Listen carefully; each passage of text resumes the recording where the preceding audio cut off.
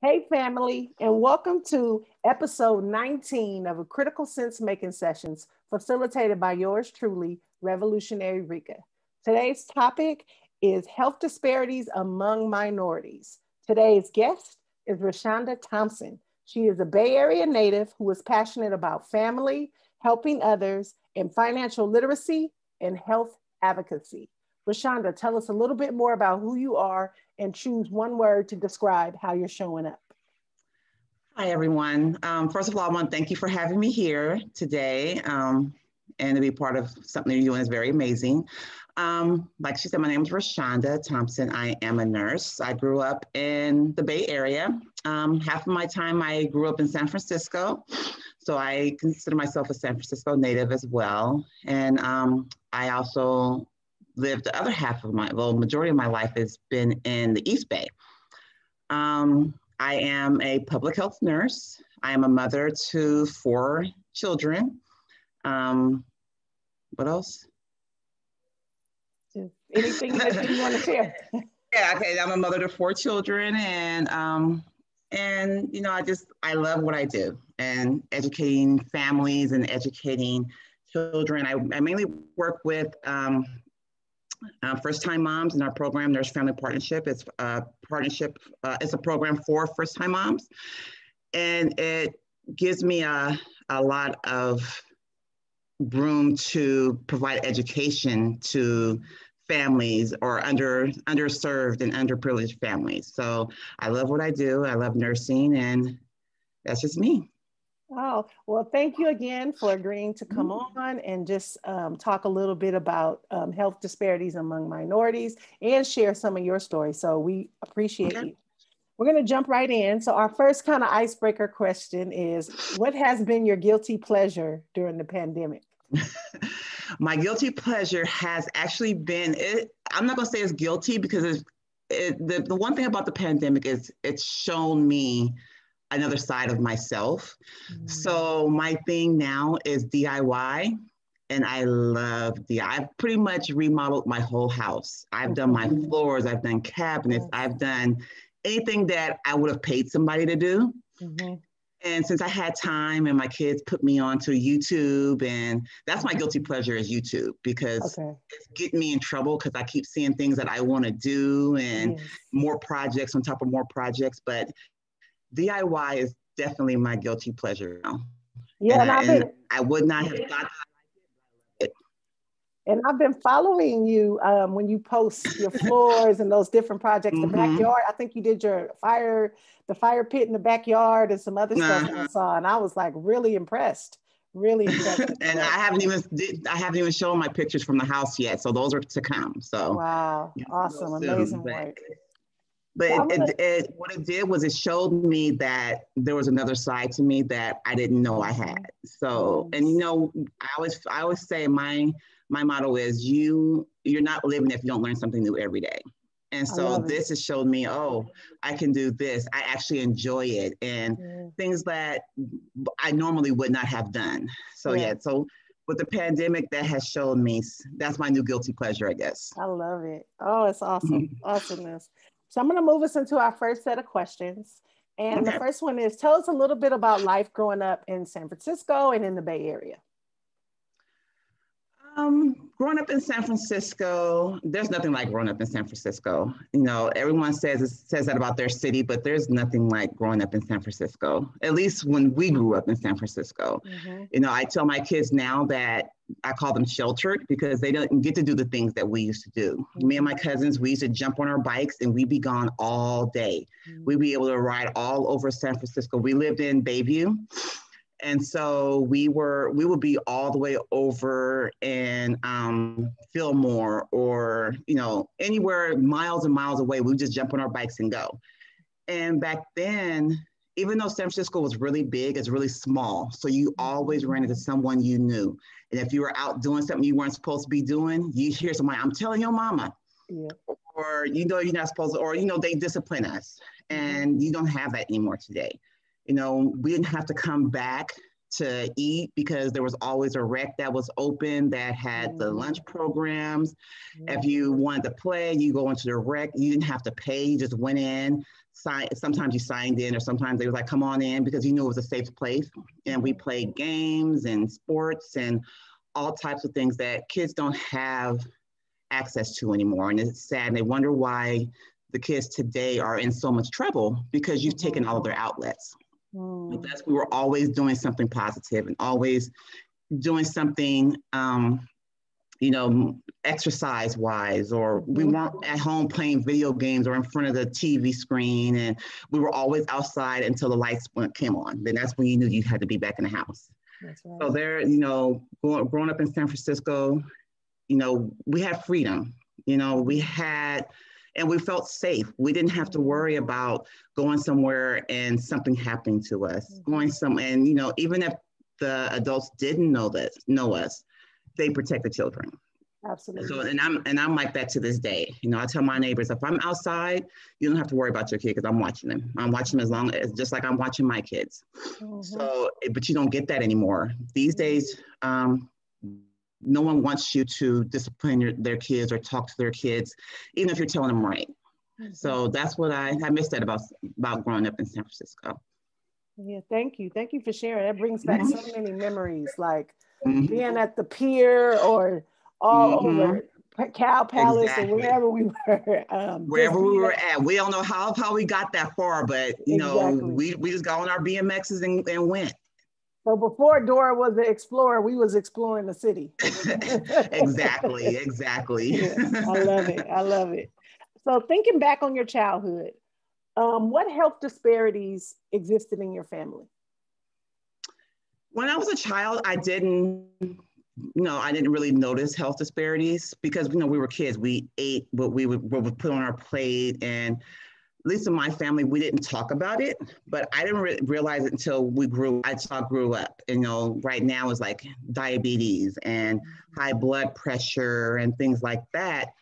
And, but when you're a kid, you don't see all those things. You just, it's like, oh, um, you know, what's wrong with grandma or what's wrong with great grandma or something like that. And they, they'll say something about it, but then you don't understand it. And mm-hmm. they were just like, you know, back then, unfortunately, it was, you know, it's grown folks' business. So mm-hmm. we didn't get enough of the information that we should have gotten to mm-hmm. kind of make a change in mm-hmm. our lives as an adult.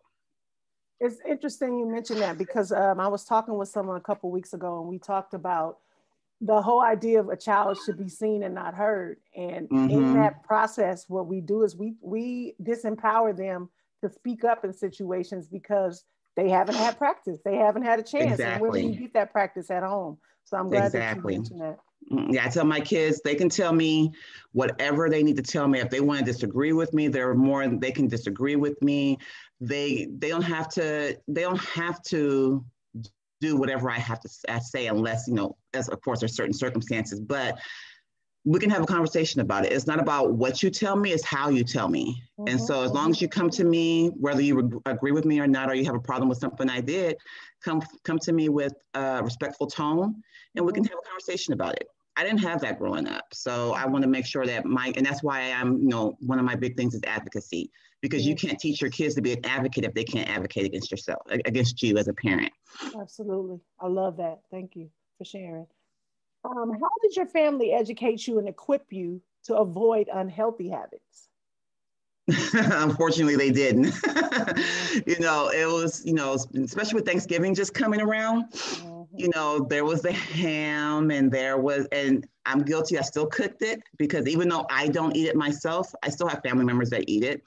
Mm-hmm. But you know, everything was grease or something something that was healthy was made unhealthy, like the greens. You added all these extra seasonings and fat and things like that to something that was supposed to be healthy. So therefore, it wasn't healthy. But that's all we knew. Mm-hmm. And so growing up, that's what we ate. And we we felt, okay, we're eating vegetables, so they're healthy. But when you add all that extra to it, no, it's no longer healthy. Mm-hmm. So I guess now I'm more of the health advocate in the family mm-hmm. because just because I've learned, mm-hmm. just because I know. So things that like I get a lot of I get a lot of flack sometimes, depending on who I'm talking to, because I've I've changed my eating habits. So now I'm pescatarian. Mm. You don't meet too many people of color that say they're pescatarian and vegetarian and vegan and things like that. So it's kind of foreign when you hear someone of color say that they're one of those things. Mm-hmm. But it's just that when growing up, we're not we're not exposed to that. It's no, that's always the white thing or something like mm-hmm. that. When no, it's a health thing. Mm-hmm. So if you wanna if you wanna do something, get rid of some of those um, health adverse ad, adversities, adversaries, I'm sorry, um, that you grow up with, then you have to make a change. Just like they say, oh, diabetes runs in my family, high blood pressure runs in my family.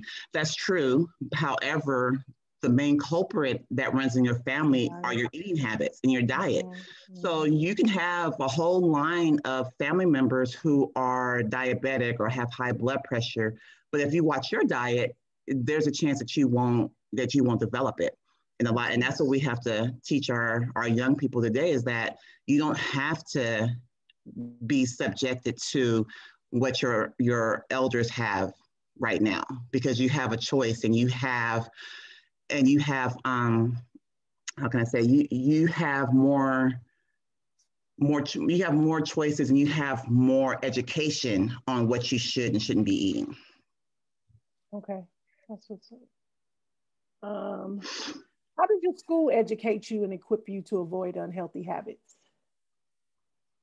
It, well, I guess you could say they really didn't. Uh, you know, we went to school together, so you knew what, what we were buying, and there was always Pizza Hut or something like that. I think I think the only thing, the only difference about schools now when it comes to the lunch program than it did when we were growing up is that everything was made right then and there. It wasn't mm-hmm. packaged and brought in. Cause I used to be a school nurse. Mm-hmm. And even though they had kitchens in the schools, they weren't cooking the food. The food was brought in from a, a main location. It was brought in in wrappers and and I look at the food and I would look at the food and I'm like, why are they feeding this to our children? But they want our children to be healthy and mm-hmm. you know, things were overcooked or didn't look appetizing at all. And it's like, especially in the lower um, economic schools. Mm-hmm. You know, they they got the the worst of it. And it was, and it was it's disheartening that this is what you want to feed our children, but you want you're talking about you want to give them the best of what um, to the best start or to um, you know give give them something that they don't have, but mm-hmm. you're just basically giving them what you wouldn't want.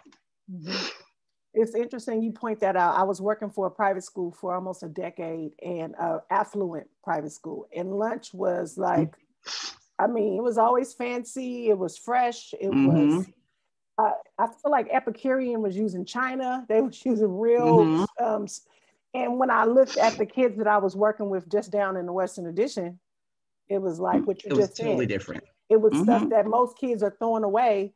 They're not going to eat. Mm-hmm. And so it's You're interesting right. that even though I understand that the private school was paying like a lot of money to mm-hmm. go there, and so that's what that was part of the cost. But mm-hmm. like just 10 block difference, that's in Pacific Heights and mm-hmm. just down in, in, in uh, Rosa mm-hmm. Parks, they're getting this food that they most mm-hmm. kids are not touching unless right. they don't have access. And, mm-hmm. and, my kids, they went to school, they went to high school in Piedmont. And you of course know um, Piedmont is, is a very affluential neighborhood.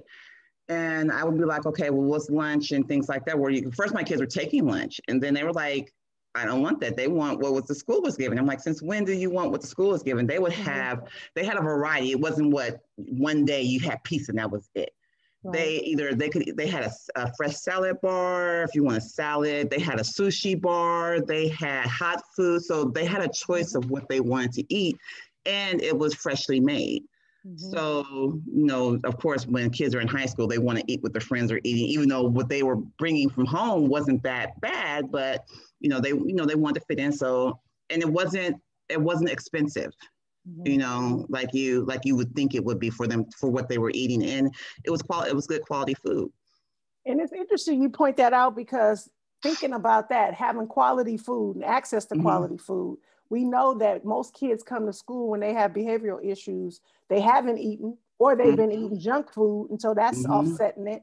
And mm-hmm. so just having access to fruits and vegetables, a salad bar, this fresh mm-hmm. food could change the um, environment and change mm-hmm. the learning environment for the young people who mm-hmm. are triggered because they exactly. haven't had quality food. Yeah. Yeah. I, I used to work at, um, I don't know if in Oakland, Alameda, I mean, not Alameda, I'm sorry, Allendale. And so mm-hmm. I had a, I had a, sometimes it depends on the principal of the school, the leaders of the school will let you kind of go for, you know, what you want to do. So I had a, I had a, a really good principal and I noticed that kids would come come to my office because their stomachs were hurting or you know things. And i'm like well what's going on?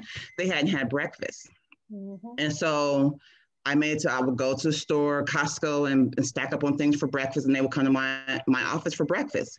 Or sometimes they were eating uh, for breakfast they would stop at the store get some hot cheetos or mm-hmm. something and a soda and then they would be in my office with a stomach ache because that's what they had for breakfast so I was able to actually ban all that stuff from schools from our school mm-hmm. because the principal was like, you know, if that's what you need to do.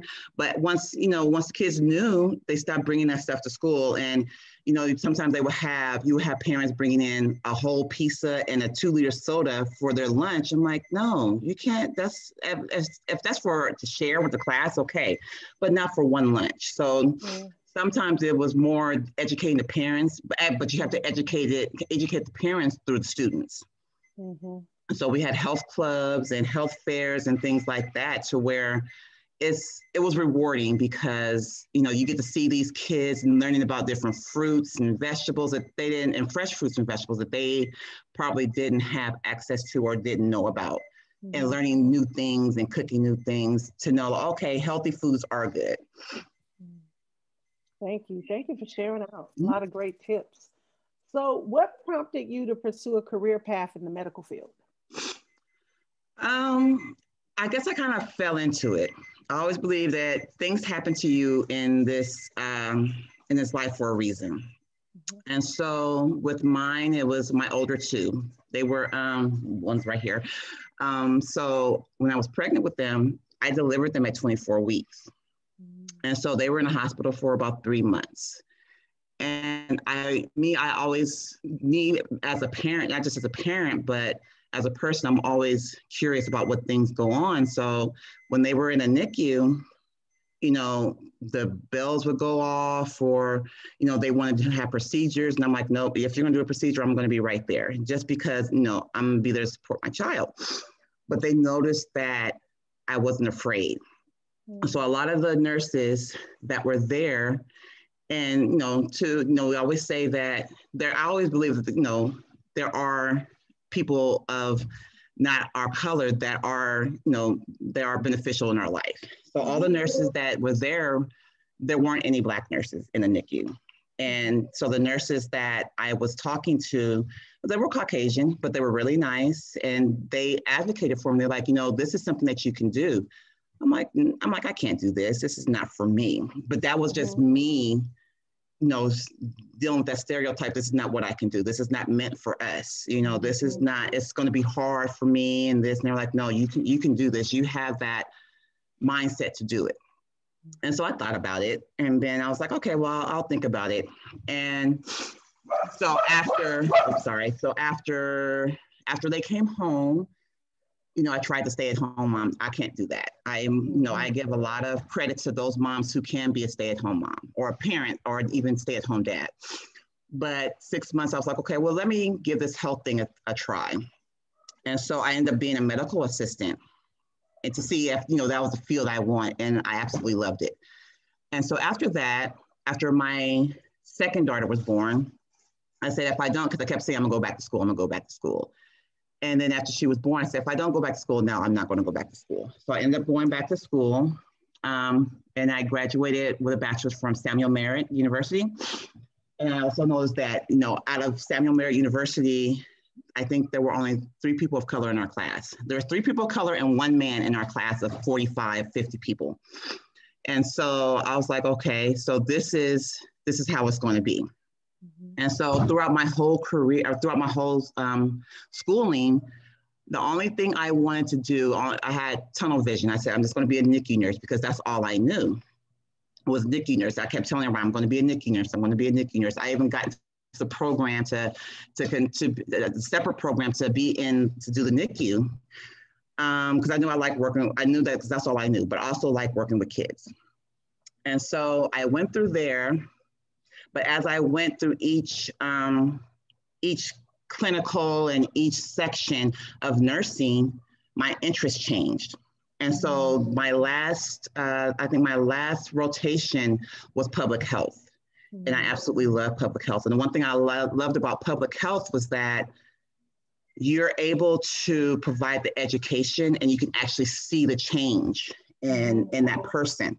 So with regular nursing, you know, nothing against regular nursing, you know, it's, it's not for everybody, but it, I loved it, but it wasn't the same because it was like every patient was just a number. You went, you told them what to do, and then you sent them sent them out. But you're you didn't know what was going on in their household. So you're uh, so a lot of people come back because the education that is given in the hospital is given off of basic information but you don't know what they're working with at home. So you're telling them to do A, B, and C, but they don't have the equipment to do B or C. So now they're back in the hospital because, and then you're you're saying, okay, you didn't follow the instructions that we gave you properly, but you don't, you can't assess their home life because you don't know. Some people either they don't have a home or they're renting a room, they're sitting, in, they're in, they're couch surfing, things like that. You don't take into account their circumstances and so they so there's like a rotating door. They keep coming back because they don't have they don't have the equipment or the the ability to do what we've told them to do in the hospital. But being public health you're able to go out and you're able to assess their living conditions and you're able to adjust what they need to do based on those living conditions. So when i got into public health I'm like, this is where I need to be. This is, then this is what I do. This is what I like to do because I like to educate. So that, and that's where I'm at now. And I wouldn't change it. That's what's up. It's interesting. Um, in my field, what I'm what I'm struggling with around that is in education is us educating children, but not realizing mm-hmm. that we have to educate the whole child. Exactly. So if I don't know what home like is like, mm-hmm. like that relationship building piece has to come back. That was there. I feel like when mm-hmm. we were in school, um, mm-hmm. Um, I think now it's more focused on testing and mm-hmm. measures. And I'm like, without the relationship piece for a lot of students, they slide through the cracks. Mm-hmm. And I know a lot of them end up with health disparities just mm-hmm. because all these things start to connect together, right? Exactly. And, and then and the, the health disparities is actually something that's new that they're starting to figure out that mm-hmm. if if they're not even if they're not eating healthy, if they're not eating at all, mm-hmm. then you're they're not going to be able to concentrate when they're in school. If they haven't had breakfast, or you know, if they haven't, or you know, if things are going on at home that, mm-hmm. or you know, didn't have dinner and things like that, it's going to affect them in school. You know, it's it's. Go ahead. Absolutely. I was going to say I had a student. We he was in the first grade maybe, and we were doing a literacy survey on him Mm-hmm. And we were asking him like what motivates him to read. He's and he said, sometimes it's too loud. I can't read. And we're like, mm-hmm. so the teacher was like, Well, we usually have you in a quiet space by yourself. He was like, Yeah, but my stomach is grumbling. Mm-hmm. So that sound is like so loud to him because he hasn't eaten that it's exactly the way, you know, him being able to read. Mm-hmm. So yeah. Yeah, exactly. So, what have you learned about the health disparities that exist in our marginalized communities? Um, I think it's unfortunately there hasn't. There's been some change, but not enough change. You know, our uh, people of color, our numbers are still too high. You know, it's and a lot of it, I believe, it's more because we haven't given we, we they don't um, p- people of color don't realize that they have a choice. So one thing that i do especially when i'm educating some of my clients is that you have a choice. If you don't like your doctor or if you don't like what your doctor is saying you're able to change. You don't have to deal do what if you don't agree with what your doctor is saying then you get a second opinion. You know, if you know, I no one knows your body like you do. Mm-hmm. So if you know it's something that is that you know is not going to agree with you, or you know, you have to you have to be able to advocate for yourself. And so mm-hmm. teaching us how to advocate for ourselves because one, they don't they don't listen. And what I mean about, I mean, some, some, some, I'm not gonna say all, some providers don't listen. Mm-hmm. But a lot of it also is that you have to go in there knowing what you're talking about. You can't go in there spouting off conspiracy theories or you know things that you've heard or other people's opinions. You have to go in there saying, okay, this is what I've learned. And this is, and you know, can you explain that to me to make sure that we're on the same track? You have to, you have to know about your health. If you have high blood pressure, you have to know that 120 over 80 is just a standard. That's not your standard. You need, you need to know your own baselines of mm-hmm. all of your labs and things like that. So if you go in and say, okay, mine, the, the med tech takes your blood pressure. And if you're usually, like I'll use mine, my blood pressure is usually like 90 over 60 or somewhere around there. Now, if I go in and all of a sudden it's 110 over 82, I'm like, okay, that's high for me. And I'm like, oh no, it's normal. It's, it's still within range. I'm like, but that's not a range. That's not my range. And mm-hmm. teaching, and so then they're like, and that that makes them go look in the computer and say, oh, okay, yeah, you usually are lower than that. So letting them know that you know you, what mm-hmm. you're talking about, know your numbers, and know know your own health and the health, and also the health of your children.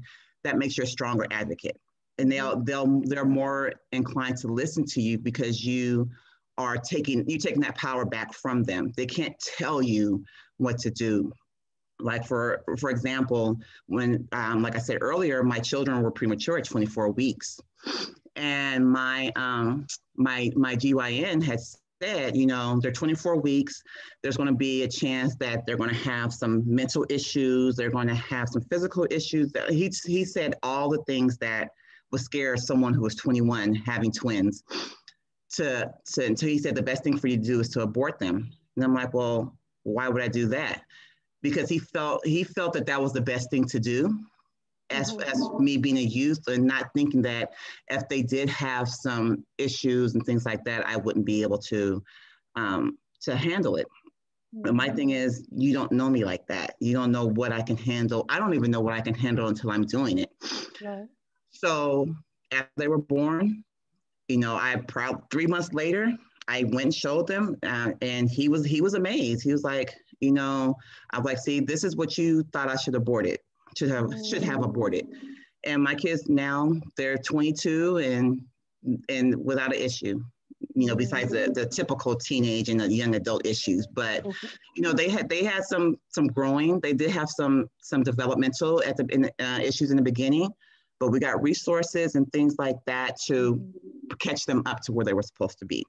And that's another thing that we, as a people of color, we are not, we're so focused on people being in our business that we don't get those resources like we should that's going to help us. Yeah. And so my that's why my thing is, you know, you have to be able to advocate for yourself. Absolutely. Absolutely. I um I'll just share a quick story. I um had an issue with Kaiser and um, my doctor would not i kept saying i have these back issues. They're not going away. And i know that i've had some of that from sports from mm-hmm. early on but this was different. And it took me six months. She kept sending me home giving me gabapentin and all this stuff that mm-hmm. wasn't working. And so i had to go around her and mm-hmm. literally send and this is when um, bernard tyson was still alive. May he rest in peace. But mm-hmm. i had to inbox him on linkedin to get somebody to do something because I was emailing and going through mm-hmm. their channels, nothing was happening. When mm-hmm. I emailed him on LinkedIn, I got an email from Kaiser within three hours. Mm-hmm. And then they finally said, okay, we're going to give you an MRI and all these things. Come to find out, I had two herniated discs, mm-hmm. um, pinched nerve, and it was getting worse because she wasn't doing anything. Exactly. Mm-hmm. So I'm glad that I stayed the course and advocated, mm-hmm. like like you talked right. about, because most of the mm-hmm. times we'll do what they say and go home and get worse, and then it's no fix for the problem. Exactly. And the same thing here is like with my, I think with me, it's a little bit different because they know I'm a nurse, so they mm-hmm. give me a little bit more credit, mm-hmm. which is you know which is sad because you know people know their bodies. Mm-hmm. You know, my daughter, she um, I mean, I, I, before I didn't, I wasn't a big Kaiser fan, but now I love Kaiser. But with Kaiser, you have to know how to advocate through. Mm-hmm. If you know how to advocate for yourself, Kaiser is amazing. Mm-hmm. So my daughter, she's torn on both her ACLs, and mm-hmm. I was always, I always go through and pick the doctor. I don't just give get a particular one. I've gone through and picked. So I've gotten lucky. I've gotten some. Well, I've done my homework and I've gotten some really good doctors. Whenever she gets hurt, um, playing playing basketball or something, we go and I call. I'm able to call. She had a pediatric orthopedist, which I never knew existed. I just thought uh-huh. orthopedist was an orthopedist. And so I found a pediatric orthopedist, and he would get her in within a week. She tore her ACL she had she had her MRI in less than a week. And it's just because I was able to advocate. I'm like, we know what's going on. She has this, this, and this. And I would just email. He's like, okay, we'll order an X-ray. We'll order this. Her MRI is this day. And just because I had that convers, I was having those conversations and in open communication with the doctor. So, I mean, even though I'm, you know, because I'm in the medical field, I know I know what language to use but you mm-hmm. don't have to know medical terminology to be able to advocate for yourself. Just know what you're talking about and just know that don't go in there angry and accusatory because then they're not they're definitely not going to listen to you. Right. You know, you, you like with you, you were like, okay, this is what's going on. You didn't get the the stereotypical angry black woman. You just went a, around that person, which you can do, and a lot of people don't don't realize that. You just go around the person who's blocking you and you mm-hmm. figure out who is above that person and then you go to that person. And so, yeah, so just continue to advocate for yourself and your family. And so I think if every we can educate everyone on how to do that properly, a lot mm-hmm. of our disparities, our numbers wouldn't be so high. I'm not mm-hmm. saying it's not going to be there, it will be there, but we'll have a lot more people who can who can bring those numbers down. Mm-hmm. And so, how do you advocate for your patients who have health disparities? Um, we so with, with me, I we have, when we have clients, we talk about their issues. we talk about their um, whatever. If you have a seizure disorder, if you have mental health issues, if you have gestational diabetes, things like that. First, we educate. You know, what does this mean? Make sure you know what your what your diagnosis means and what it means for you and then once we figure that out, okay, let's let's um, let's what did the doctor say that your course of of um, action is, and then we follow that. And if you're not either if you're not understanding, or if you're not um, if you're not comfortable with it, then we have another conversation with it. I'm like, okay, well, this is what you need to say to your doctor. So teaching them and giving them a script on how to talk to their providers and how to disagree without being angry or how to disagree appropriately with your doctor um, to make sure that they continue to listen to you and making sure that they know that you know what you know what you're talking about. If you have all the information on on um, on um, that health issue like for example it's if i have a mom who's going to call the doctor being working in a, an office, I already know what the doctor wants to know. So I say before you call, because a lot of moms or a lot of people will call the doctor and not have any information on mm-hmm. why, and they can't make a, if they're doing a phone um, visit or something like that, they can't give you a diagnosis or can't treat you if you don't know what's going on. Mm-hmm. So if you know you haven't been feeling well, how long have you, the one thing you should know is how long have you been feeling not feeling well? Okay, I haven't been feeling well for three or four days and what are your symptoms? I've been having, I've been, I've been dizzy. I've been having um, difficulty breathing. I've been, I've had a cough.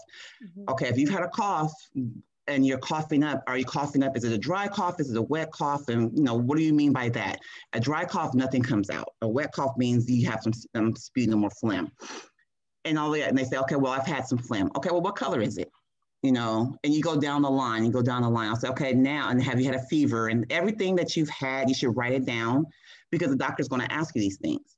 Mm-hmm. And then when you call the doctor, you already have all these answers for them.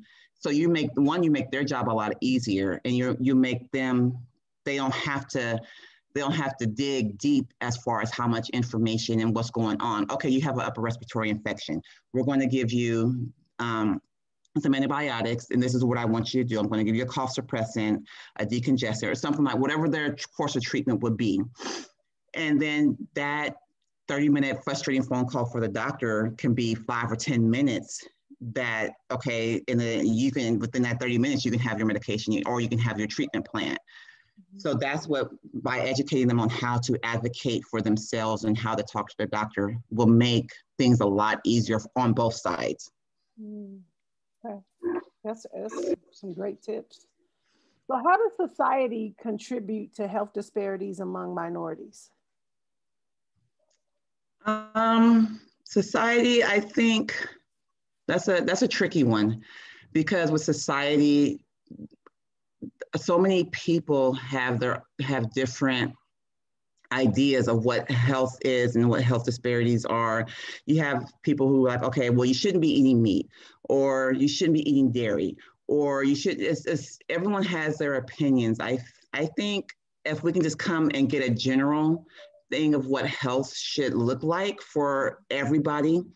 Um, it's not just a one size fits all. Mm-hmm. I think just by making sure that I think education is the number one thing. If we can just mm-hmm. educate our communities on things that are helpful or like like for instance, you know, if you go into East Oakland, how many grocery stores are in East Oakland? Right. Exactly. How many uh, how many liquor stores are in East Oakland? Right. And then and another thing that some of the liquor stores are doing is they're putting grocery store on there, grocery and liquor or something, and they're putting a little bit of produce in there to say that they are a grocery store. But if you go in there, the produce they've had, they probably went and got from somewhere else and has been sitting there for forever because who wants to buy produce from a liquor store? Mm-hmm. And so you have to look at the access that um, minorities or those who are underprivileged have. They don't have, they have to, how far do they have to go to get groceries? How far, I think in East Oakland, I can, let's see, there's, I, there's probably maybe five in all of East Oakland. And, you know, they had, they did put the um, Whole Foods there but a lot of people from East Oakland can afford to shop at, at Whole Foods. Right. You know, right. I go to Whole Foods and half of my basket is full, and that's a small one, and I've spent almost 100. dollars mm-hmm. So a lot of us can't afford to um, to go to stores like that. You know, Safeway, and then um, actually I don't even think there. No, there is one Safeway in East Oakland, but it's in that it's up in the hills. So if you're in deep East Oakland, you're not going to have you're going to have to travel to get quality food, and a lot of us don't have cars. So I think bringing in, bringing in um, um, those, bringing in those things that they need to make it more, even if it has to be like a pop up farmers market or in, in a parking lot or things like that, to give them the chance to get um, quality foods and, and things, I think that would definitely help in teaching them that okay these are foods that are healthy. These are foods that you know we need. It doesn't always have to be a candy bar a bag of chips and a, a soda. You know we can get fresh fruit. We can get um, you know things that doesn't have to come in a can. You know just giving exposing them to new things and exposing them to those fresh fresh foods and things like that will give a lot of um, a lot of power back to the to the people of color. So I'm glad you shared that because so many of our communities are um, are sitting in food deserts, and mm-hmm. one, like you said, they don't have access, or the food that they do have access to is not quality. And so right. um, I was um, one of my professors uh, works for, or he helps to build homies empowerment in East Oakland. Mm-hmm. And they do a mm-hmm. pantry mm-hmm. one day a week. And ever since the pandemic, they've been doing a pantry and a giveaway where people can come in who don't have food. It's for free mm-hmm. and they can shop and they can get, they can take whatever they need. And so it's, right. it's on them, right? And so if you want mm-hmm. more because you need more, then get it. But understanding too that there's so many other people in need at this time too. Exactly. Um, and so I, I've just been really trying to connect with more organizations that are doing some of those things so that I can mm-hmm. share those resources because they do have access to kind of mm-hmm. vegetables and fruit whereas right. and just food right now with with that being a shortage i know the food banks mm-hmm. are running out daily so right yeah but then they also got you also got to remember you know people of color, they have a lot of pride. And sometimes you got to swallow your pride because yeah. sometimes I've driven past the food banks and you may see two or three of us in that line. Yeah. You know, and it's like, but you're at home and you don't have any food. I mean, if I need to, I'm going. I'm going to get in that line. You know, yeah. it doesn't. It doesn't take away from who you are. Everyone struggles from time to time. You know, it doesn't doesn't mean that you're less than. You know, people look down on the poor and right. we and being poor we look down on ourselves too like oh i'm not doing that so you'd rather go hungry right. than stand in a line to get some fresh foods so right. i think sometimes we have to swallow our pride too right. and tap into them resources that's at our fingertips exactly. like that's mm-hmm. advocating for your needs i don't have food okay i'm going to this exactly. line to get food absolutely mm-hmm. so how have health disparities among minorities been impacted during the pandemic um I think it's I think it's still the same. It's just because but now it's more it's on TV. So the numbers, you see those the those disparities, you see the numbers changing. And now it's it's brought into it's brought into the limelight. It's like, okay, what we already know in the health field is that these these numbers aren't new for us. Mm-hmm. These disparities aren't new for us. They're new for everyone else because they didn't know, or they, or you know, sometimes they didn't want to know, mm-hmm. you know, or it's you know those that can make those changes we're mm-hmm. turning that blind eye. So now that it's in the news, just like you know all the the things that are happening with people of color being killed and things like that. Now it's in everyone's faces. Mm-hmm. Now you turn on a channel, you turn the TV on because you know, turn a channel, the TV on, turn a computer on, turn whatever social media you have on, and it's right there in your face. And so you can't really be ignorant to it because it's there. You know, it's not like, okay, I didn't, oh, I didn't know that. Well, my 10, my um, 13 year old knows this because he's on social media. And it doesn't even have to be a whole article. You mm-hmm. sometimes you just see the top um, the the article name and that information is inside that name. So even if you don't open it it's still right there for you to read. If you don't if you choose not to open it that means that you choose not to be part of the solution. Right absolutely it's interesting i know chadwick boseman passed mm-hmm. away this summer and mm-hmm. so that's why i kind of brought it up just thinking about you know as things come and go how soon we forget where we've come from. And so I feel like exactly. the health disparities have come up before, but because other, mm-hmm. other things come in and overshadow, and then we forget, and then we're here again. Mm-hmm. And so, um, and, and it's sad, right? And it's sad that it has a. We only put a, a, a microscope on it when it happens to someone who's prominent, when it happens to someone, mm-hmm. someone famous. So we already know prostate cancer is one of the highest, um, or has the highest mortality rate. But now that we've seen someone famous actually die from it, now it's a big thing. But it's always been a big thing. And it's not just for people of color, but it's hiring people of color because we don't go get checked out. You know, we stay away from the doctors. We stay away from, we don't get our physicals. We only go to the doctors when it's a problem. But mm-hmm. why not go to the doctors before it becomes a problem? Get your mm-hmm. yearly physical, get your bi yearly physical. Just, you know, as long as you're getting checked up and you're monitoring your health, don't wait until oh i haven't been i've been sick for oh so long because even with Chad, chadwick he had known for years that he had mm-hmm. this and it was just growing and growing but he was still he knew it was coming but he was still able to fulfill his life you know having having issues doesn't mean that it's an automatic death sentence it just means that now you can have solutions you can have treatments and you can and you can you can live your life how you want to. If you know you're not gonna you don't want to do chemo and this is it and you're gonna keep then you know you're gonna live your life to the fullest. If you know you're gonna fight, okay, well what's my next what's my treatment options? But you don't you can't have those options if you don't go and know what you have, what you have going on. Because by then you by the time you're feeling it, you might be a stage four.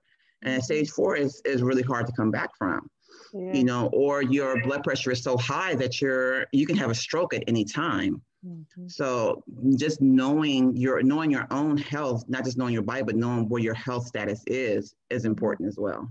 Absolutely. Thank you. And so, how can we change health outcomes for communities of color?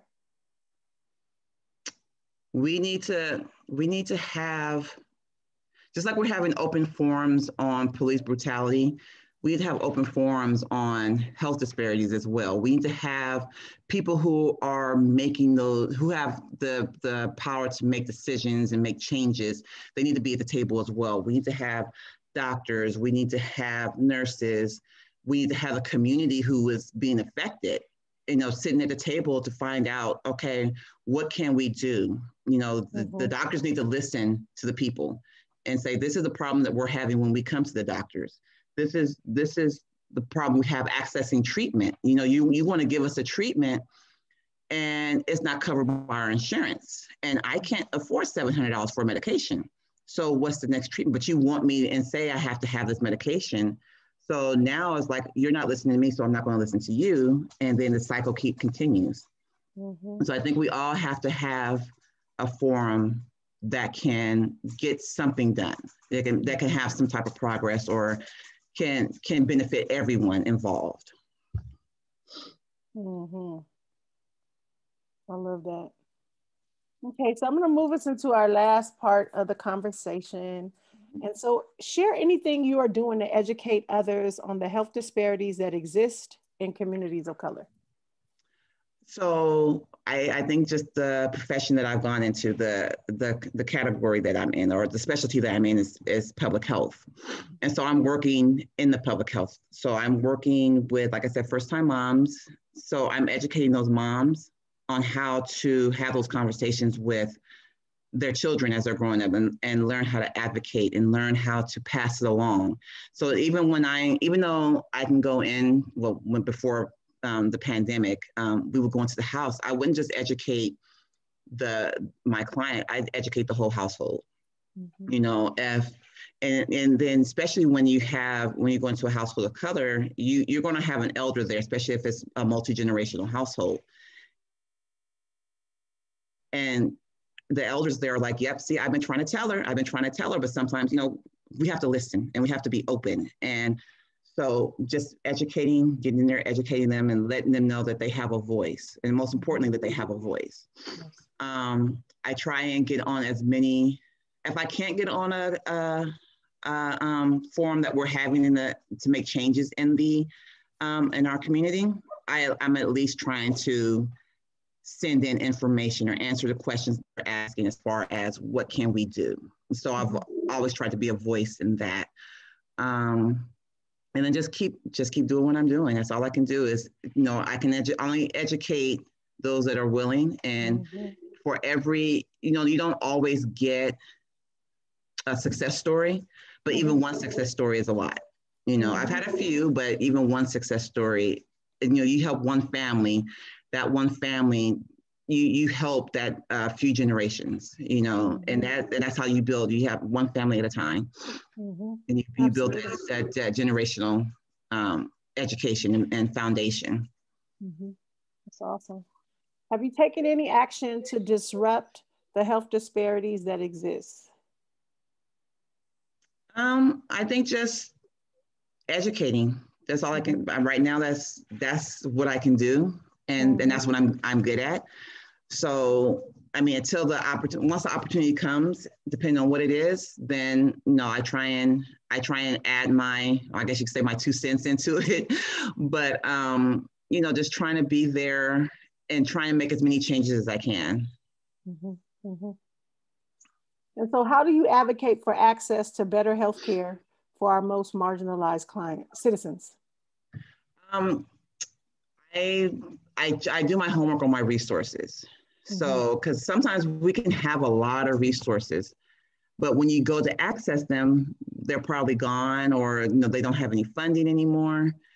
So, just making sure that I'm giving out proper resources, and I'm always looking for resources. And also, I listen to a lot of my clients because they find resources that I don't have access to or I didn't even know about. And the one thing about our people is that we can be resourceful. We figure it, we always make it happen. We find a way to mm-hmm. make it happen. And tapping into that to get to get it to where it benefits everybody, not just that particular family at that time, mm-hmm. I think we we'd be a lot stronger. Mm-hmm. Absolutely. And so, have you created any resources just to counteract oppression? Um, not that I'm aware of, but you know, mm-hmm. sometimes just your actions, your everyday mm-hmm. actions that you don't know are helpful. Like I've had people, I still have, I still have um, students, I haven't worked in the school district in years. And so a lot of the kids that I had are, you know, in high school or have graduated, but they still remember what we did in those classes. And they, mm-hmm. and they, mm-hmm. they still, they still carry that with them today. Mm-hmm. And so. I think just educating one at a time can help build, you know, something, it can help get them out of that. Absolutely. So yeah, just, I'll just keep doing what I'm doing. It sounds like you planted a lot of seeds. So yeah, that's, that's all we can do. We may not, yes. we may not get to see the flower, but we yes. know that the seeds have been sowed. So yes. that's all I can do.